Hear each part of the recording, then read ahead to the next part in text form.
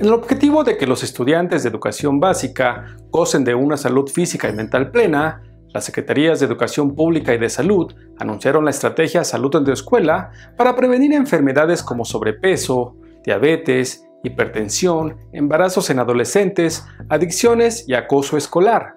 El titular de la SEP, Aurelio Nuño Mañer, destaca en entrevista la importancia de convocar a padres de familia, maestros y estudiantes de medicina para alcanzar la meta de tener estudiantes sanos. Parte del, del, secreto que debe de tener el éxito de esta estrategia es convocar a gran parte de la sociedad mexicana, a los maestros en primer lugar, a los padres de familia, a los jóvenes universitarios que están estudiando la carrera de medicina, que van a ser parte de sus prácticas profesionales en las escuelas eh, para poder sacar adelante esta estrategia, a miembros de la sociedad civil, del sector privado. Por supuesto que tenemos todavía muchas carencias, que tenemos que seguir trabajando en ellas, pero hoy la capacidad instalada que tiene el Estado mexicano y de manera señalada a través del sector salud y del sector educativo nos permite que haciendo un trabajo coordinado podamos sí empezar a tener metas muy claras para atacar estos problemas. Ahorita el primer paso, y, lo decía hace un momento el señor secretario de Salud, este es un programa piloto. ¿Por qué? Porque creemos que la buena política pública eh, empieza así. Primero hay que hacerlo en un, eh, dijéramos, en un rango que pueda ser manejable. Este, ¿Para qué? Para medir cómo vamos, para ver qué es lo que se tiene que cambiar, para ver qué es lo que se tiene que profundizar, para entender bien lo que está funcionando y por qué. Y eso se tiene que hacer en escalas manejables y a partir de ello poderlo escalar a nivel nacional. Esto me parece que hacerlo de otra manera sería una gran irresponsabilidad, eh, no solo con la movilización de todos los recursos del Estado y de la sociedad civil, sino también con el dinero de los mexicanos. Vamos a estar midiendo con un gran rigor y con una gran transparencia cómo va el programa.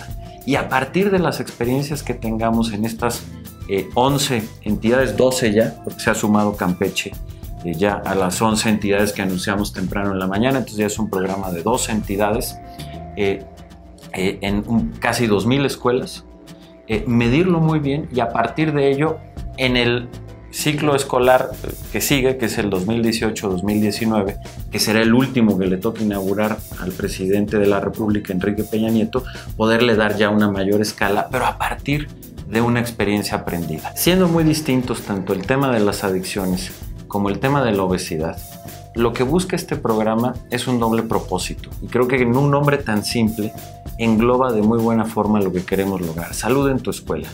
Es llevar la salud a la escuela para poder prevenir y es también educar para la salud. Es decir, también generar conciencia. El tema de las adicciones, que puede ser también equivalente, aunque son problemas de distinto orden, pero equivalente con los, eh, con, los hábitos eh, alimenticios. Este, puede haber eventualmente consumo de comida chatarra en las escuelas, Esperemos que no y estamos, vamos a ser cada vez más estrictos en ello porque además hay una regulación que no lo permite. Puede haber, obviamente también está prohibido el consumo de alguna sustancia prohibida en las escuelas, pero también lo puede haber afuera. Eh, y el rango de control que se puede tener en las escuelas puede ser más estricto. Pero si el niño o el joven sale de la escuela y en la tiendita de la esquina eh, compra comida chatarra o encuentra un expendio en donde eh, compra sustancias prohibidas, al final del día el efecto es el mismo.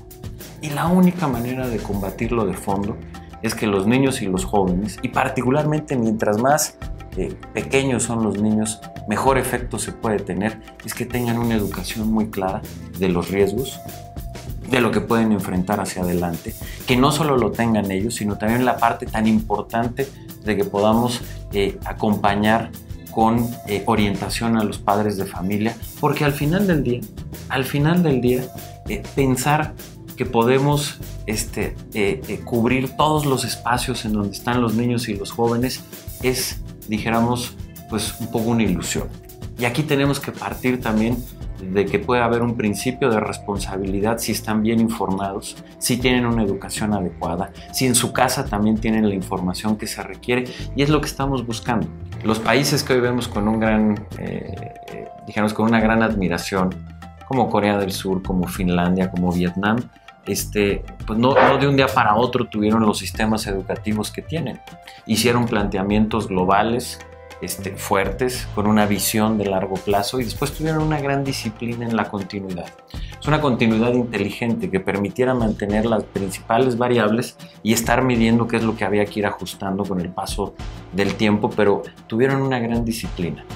Eh, y si queremos que, que el sistema educativo de nuestro país tenga, digamos, esta proyección que estamos viendo con el modelo educativo, tenemos que tener esa continuidad y tenemos que tener esa disciplina. Y por eso es tan importante eh, que más allá de los periodos electorales, una política eh, de, este, eh, de, de, este calibre se pueda mantener. Un ejemplo concreto es este proyecto de salud en tu escuela. Soy Ángel Hernández y esto fue Coordenada Política.